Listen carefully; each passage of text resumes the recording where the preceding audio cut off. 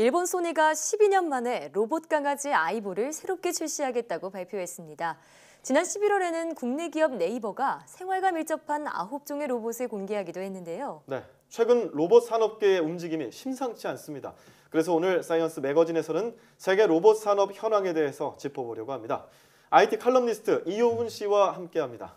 어서 오세요. 안녕하세요. 네, 최근 들어서 이 로봇 관련 소식들이 많아지는 것 같습니다. 예, 그렇습니다. 뭔가 가만히 있던 알이 이제 탁 하고 깨진 듯한 이제 그런 느낌이 점점 들고 있는데요. 예. 단순히 기업들한테서 들려온 소식뿐만 아니라 경- 지난 10월에는 굉장히 좀 재미있는 소식도 하나 있었습니다. 예, 오, 어떤 건가요? 많은 소년 소녀들이 어린 시절 꿈꿨던 그런 일이 이제 현실에서 실현이 된 건데요. 음, 세계 최초로 거대 로봇들이 대결을 벌였습니다. 예, 예, 비록 그 만화 영화에서 봤던 것처럼 좀 뭐 거창하게 주먹 다짐을 했던 것은 아니지만요. 예. 네. 메가봇과 쿠, 쿠라다스, 예, 쿠라사스. 예, 높이 5m 정도 되는 로봇들이 이제 실제로 사람이 타서 싸웠다는 사실만으로도 아. 제 심장을 조금 좀 두근두근 했었거든요. 네, 이런 작은 이벤트부터 시작해서 각종 개인용 로봇 개발 소식까지 확실히 최근 들어서 이 로봇과 관련된 뉴스들이 많이 쏟아지고 있는 것은 사실입니다. 네, 아, 마치 그 영화 트랜스포머를 보는 것 같다는 예. 생각도 드네요.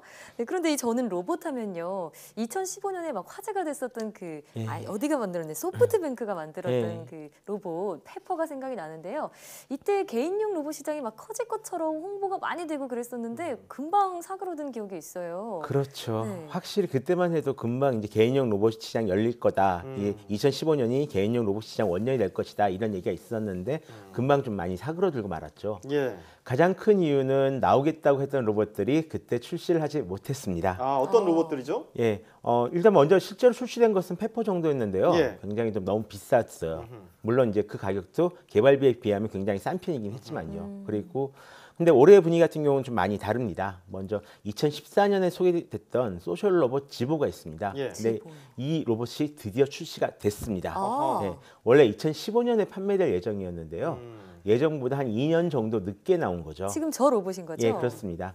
어, 대신 이제 나오자마자 타임즈가 선정한 올해의 발명품 25가지 중 하나로 뽑히기도 했고요. 네. 예. 또 2016년에 공개된 대만 에이수스의 로봇 젠보 역시 올해 드디어 발매가 됐습니다. 예. 원래는 어린이들을 위한 로봇이라는 컨셉으로 나왔었는데요. 최근에는 뭐 텐센트의 인공지능 기술을 탑재한다던가 아니면 의료 지원용 기능을 좀 탑재한다던가 하는 식으로 사용 영역을 좀 점점 넓혀가고 있는 그런 상황입니다. 네. 예. 그밖에 일본에서 그 로보혼이라고 있습니다. 스마트폰처럼 생긴 로봇인데 예. 이 로보혼도 많이 쓰이기 시작했고요. 음, 또 미국의 쿠리라고 있는데 이 쿠리도 곧 배송이 시작될 예정이라고 합니다. 네. 예. 2015년에 기대했던 로봇들을 이제야 모두 만나볼 수 있게 된 거죠. 아, 2년 정도가 걸렸네요. 예. 예, 그런데 이런 기능들을 살펴보면 음, 지금 우리 그 인공지능 스피커 있지 않습니까? 예. 이 로봇들의 가정용 로봇들의 기능들 자체가 여기서 그렇게 크게 발전하는 거 아니지 않나 하는 그런 이야기도 나오고 있거든요. 아무래도 굉장히 좀 많이 비슷하죠. 예. 아무래도 같은 형태인 이 음성 인식 유저 인터페이스를 사용했기 때문에 좀 그런 것 같은데요. 예. 이게 2015년에는 이렇게 말을 알아듣는 것만으로도 굉장히 신기하고 아. 그런 일이었거든요. 근데 그 사이. 이 음성 인식 기술이 예. 우리들에게 그만큼 많이 익숙해진 거죠. 그랬군요. 예.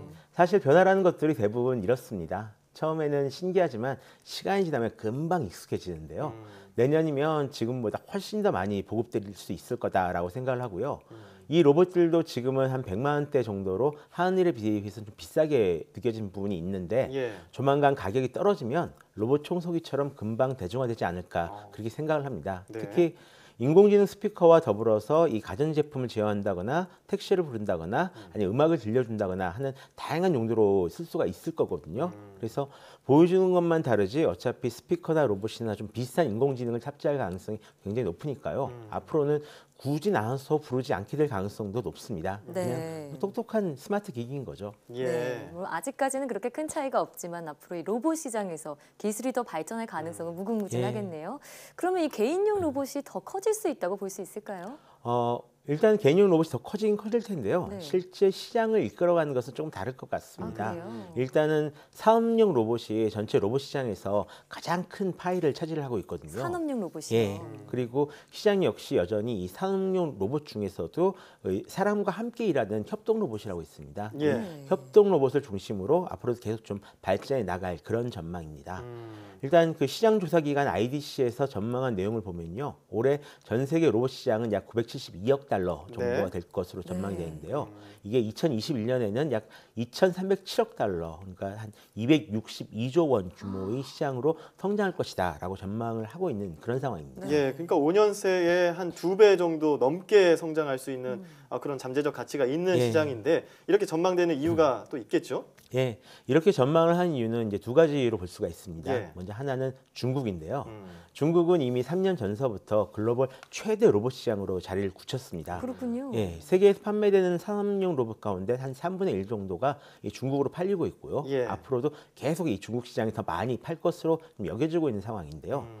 이 중국 산업 구조가 선진국형으로 바뀌고 또 이 임금 점점 오르면서 나타나고 있는 그런 현상입니다. 예. 작년에는 세계 3대 로봇 업체 중 하나인 독일의 쿠카라고 있습니다. 네. 이 쿠카를 중국 메이디 그룹이 인수를 해서 화제가 되기도 했었고요. 아, 그랬어요. 예. 네.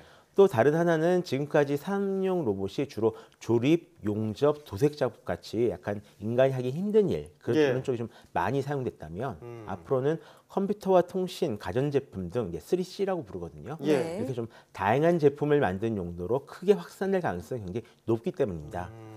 이렇게 좀 정밀한 기계를 만들기 위해 필요한 것이 굉장히 좀 세심하게 움직일 수 있는 그런 로봇인데요. 예. 네. 최근에는 로봇공학과 인공지능, 이 기계학습이 결합된 차세대 지능형 로봇이 모습을 드러내고 있습니다. 예. 예를 들어서 지금 보시는 것이 ABB에서 만든 협동 로봇 유미인데요. 예. 지금 이틀만- 지휘를 하고 있어요. 예, 이틀 만에 스스로 지휘하는 법을 배워서. 지금 오케스트라 연주를 지휘하고 있었던 겁니다. 아, 스스로 예. 배웠다고요? 예. 이제는 이렇게 로봇과 사람이 함께 공장에서 일을 하는 시대가 온 거죠. 네. 그래서 지금 저희가 이렇게 개인용 로봇 음. 또 산업용 로봇까지 살펴봤는데 서비스형 로봇 분야도 있다고요. 예, 그렇습니다. 전체 비중이 크게 높지는 않은데요. 굉장히 빠르게 성장을 하고 있는 그런 분야입니다. 네. 음. 작년에는 전년 대비 한 24% 정도 성장을 했고 올해는 전년 대비 한 17% 정도 성장할 예정에 있는데요. 특히 물류 로봇이나 의료 로봇 분야에서 성장이 굉장히 가파르게 올라가고 있습니다. 네. 예. 국제 로봇 연맹에 따르면 이 물류 로봇은 전체 서비스 로봇 시장의 한 절반 정도를 차지하고 있으면서 전년 대비 30% 이상 이제 성장을 하고 있다라고 합니다. 네. 그밖에 수술용 로봇이나 그 농업용 로봇 그리고 이 소저서 짜는 차기 로봇이라고 있어요. 예. 이런 것 처럼 이제 전문 분야에서 전문 서비스 로봇들이 계속해서 좀 도입되고 있는 이런 상황입니다. 음. 특히 이 분야는 일본이 굉장히 큰 욕심을 내고 있거든요. 예. 예. 2020년 도쿄 올림픽을 기점으로 해서 일본 서비스 로봇 시장을 지금보다 20배 이상 크게 만들겠다라는 어. 계획을 실제로 이미 추진을 하고 있는데요. 예. 아무래도 기술은 굉장히 뛰어나지만 워낙 그 고령화 사회다 보니까 이런 것들을 좀 많이 원하고 있는 것 같습니다. 네. 애완용 로봇. 예. 예. 또 한편- 귀엽네요. 저는 애완용 로봇이 유난히 많이 만들어진 것도 일본이 워낙 고령화 사회가 됐기 때문이 아닌가라고 생각을 하고 있습니다. 네. 또 한국 하면 IT 강국으로 지금 자리 잡으려고 하는데 네. 한국 시장의 전망을 짧게 전망해 주신다면 어떻게 얘기해 주실까요? 사실 그 출하량, 출하량만 놓고 보면 한국 로봇 산업은 세계 2위입니다. 예. 다만 이 비싸고 좋은 로봇을 갖다 파는 게 아니라요. 음. 좀 단순한 산업용 로봇, 좀 싼 로봇들을 좀 많이 팔고 있거든요. 네. 또 투자된 연구비나 이런 것들도 다른 나라에 비하면 좀 많이 좀 부족한 그런 상황이고요. 네. 로봇 선진국이긴 하지만 시장 지배력을 가지고 있는 다른 나라들에 비하면 규모가 좀 많이 작은 편이기 때문에 음. 좀 앞으로 좀 더 열심히 노력을 해야 될 것 같습니다. 예. 네. 좀 인천국제공항에서도 로봇이 좀 안내도 해주고 청소도 해준다 이런 얘기를 들었는데요. 네. 앞으로 우리나라에서도 주요 기관에서 이 로봇의 안내를 받을 수 있는 날이 머지 않았을 거란 생각도 듭니다. 지금까지 IT 칼럼니스트 이효훈 씨와 함께 로봇 산업 현황에 대해 살펴봤습니다. 오늘 말씀 고맙습니다. 고맙습니다.